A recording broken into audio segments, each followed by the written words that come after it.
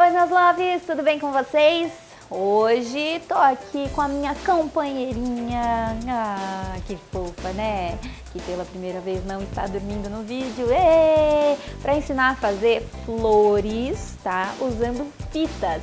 Então, se você tem fita de cetim na sua casa, fita de gorgurão, fita de veludo, qualquer tipo de fita, você pode fazer essas flores aqui super fofas, tá? E dá pra enfeitar bolsas, mochilas, jaquetas, enfim, dá pra você enfeitar um montão de coisas com essas flores lindas e super fáceis de fazer.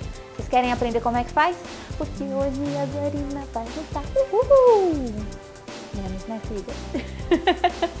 Olha só, antes de qualquer coisa, se você ainda não é inscrito no meu canal, não esqueça de se inscrever para ficar sempre por dentro das novidades, tá? Vamos combinar o seguinte? Já deixa o seu like aqui e eu te desafio a assistir esse vídeo até o final. Se você não gostar dele, aí você tira o seu like, tá bom? Então vai lá, deixa o seu like aqui agora, assista esse vídeo até o final e bora aprender a fazer essas flores aqui super lindas. Vamos nessa?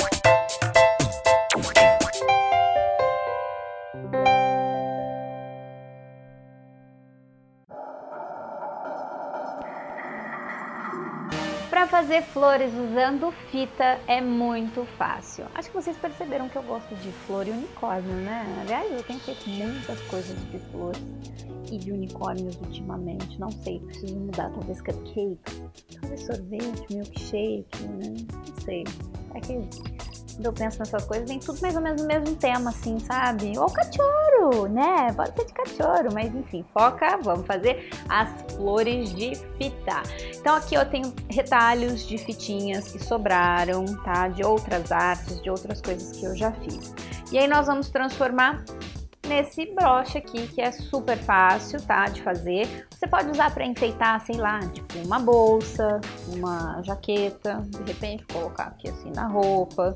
Você pode enfeitar o que você quiser, tá? Ou até mesmo usar aí para finalizar um presente, por exemplo. Se você não tem um laço bonito na sua casa, você coloca ali, vai ficar super charmoso e a pessoa vai achar super especial porque foi você que fez. E é fácil demais de fazer, gente, ó. Eu vou usar as fitas, mas para conseguir arrematar, para conseguir amarrar direitinho, eu vou usar uma linha. E aí pode ser a cor que você tiver na sua casa, tá bom? Para fazer a flor, a gente vai pegar a nossa fita. Não importa o tamanho, o tamanho que você tem aí, tá? Eu vou dobrar ela aqui no meio só para eu marcar, mais ou menos. Vou abrir ficou com um risquinho aqui marcadinho. O que, que eu vou fazer? Eu vou levar aqui a lateral nesse risquinho. Então, ó, ele ficou tipo um L aqui pra mim, tá? Para de roer unha, filha. E aí, meu cachorro roe unha, E aí, então, ficou esse L assim, desse jeitinho. Vou trazer essa parte aqui da frente pra mim. E a parte que tá aqui na direita eu vou levar pra esquerda. Vou levar essa parte que tá aqui do meu lado pra frente e vou pegar a parte que está na esquerda e levar para a direita. Vocês vão ver que vai formar uma sanfona, porque eu vou repetir isso até acabar toda a fita. E eu estou usando a mesa aqui como apoio, que é para ficar mais fácil. Então, é sempre cruzando de um lado para o outro, de cima para baixo, de um lado para o outro, ó, tá? É bem fácil. Você vai fazer isso até quando der. Ó, aqui. Mais uma vez. Pronto. Aqui, ó, já ficou um tanto suficiente para eu segurar as duas fitas juntas, ó, as duas pontas. Então, ó, quando eu solto, virou essa sanfoninha assim, certo? Agora o que, que você vai fazer? Vai segurar aqui e vai puxar uma das pontas. Nem sempre isso vai dar certo, tá? Eu até hoje não aprendi qual é a ponta que eu tenho que puxar. Então, e eu já fiz muitas flores desse jeito. Então você já imagina, né? Você estiver fazendo pela primeira vez na sua casa e der errado, fica tranquilo. Vou puxar uma das pontas e a flor, acho que eu já puxei errada, só porque eu falei, e a flor vai aparecendo aqui, ó, a rosa. Olha só. Ó, que legal! Muito bem. Sobrou um pedaço aqui que dá até para você fazer outra flor. Dani, pelo amor de Deus, o que, é que eu vou fazer agora? Agora calma, não se desespere. Você vai pegar a linha. Pronto, peguei um pouco de linha aqui, ó. Tô deixando sobrar aqui na parte de baixo. vou pegar outra parte e vou enrolar assim, ó. Que é para eu conseguir é, amarrar sem desmanchar toda a minha flor, tá? Então, ó.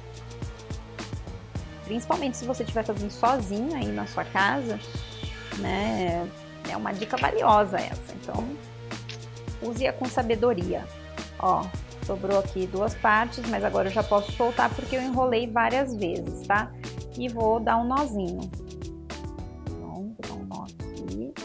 Cuidado para você não puxar muito a linha, porque a linha vai arrebentar antes de você dar o seu nó. E aí, já sabe, né? Vai desmanchar tudo, você vai ter que fazer tudo de novo.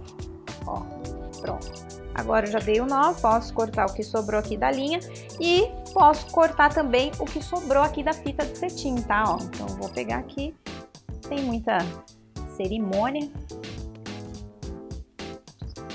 Cortou!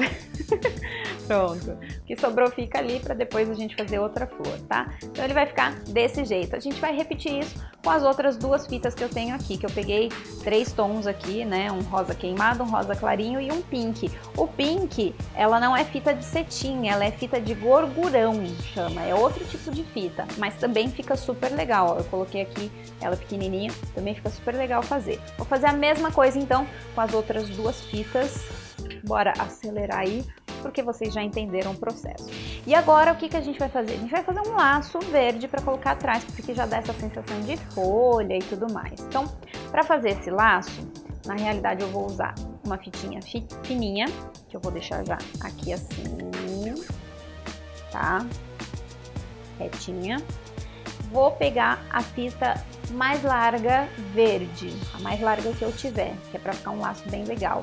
E aí, olha só, ela tem um lado que é com brilho, outro lado que é fosco. Então, eu vou apoiar aqui em cima da mesa, tá? Eu vou cruzar agora aqui na frente, ó. Então, o lado fosco vai ficar aqui pra dentro. Cruzei, cruzei, pronto, ó. Fiz como se fosse um X. Vocês viram que eu não vou amarrar o meu laço ali direto, como a gente faz com o cadarço do tênis, né? Eu vou usar a fitinha mais fina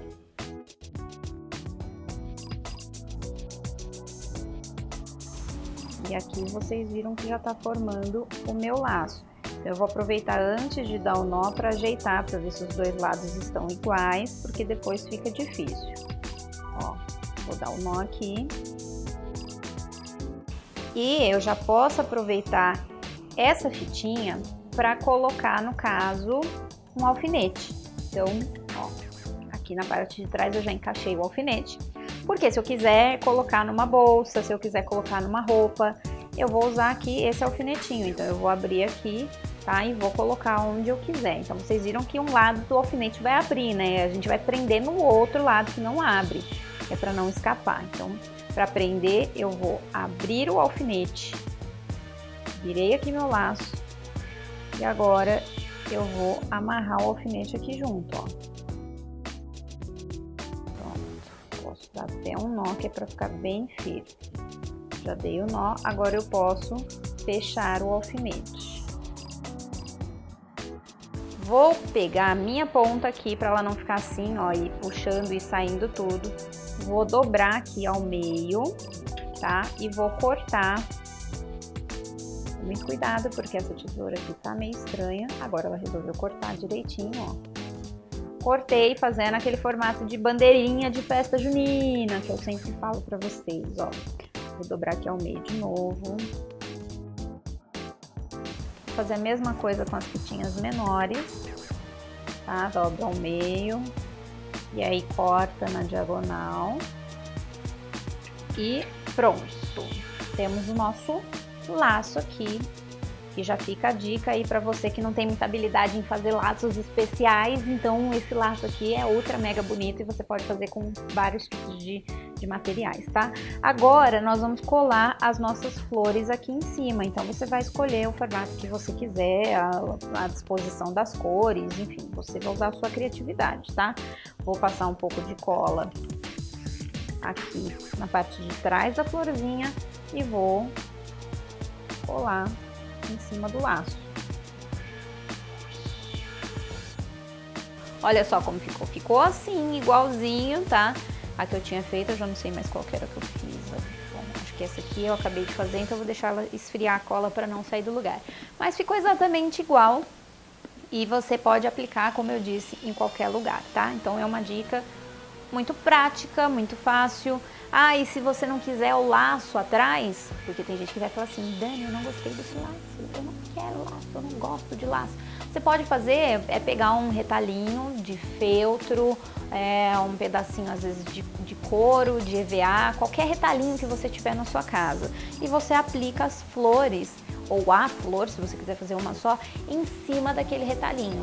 E aí você coloca o alfinetinho ou você já aplica direto no outro material que você vai enfeitar, na sua bolsa, na sua mochila, tá? É só você usar a sua criatividade. Então a dica hoje foi para você fazer as flores usando fita. Aí na sua casa você pode fazer tranquilamente. Gostou da dica?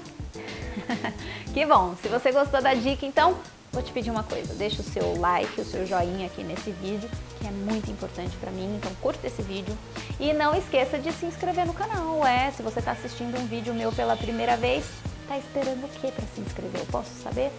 Vai lá, clica em inscrever-se, ok? Ou subscribe, não sei que língua que tá aí o seu YouTube, mas você clica, se inscreve no canal, fica sempre de olho aí nas dicas, nas novidades, que tem muita coisa legal chegando aí pra vocês, tá bom?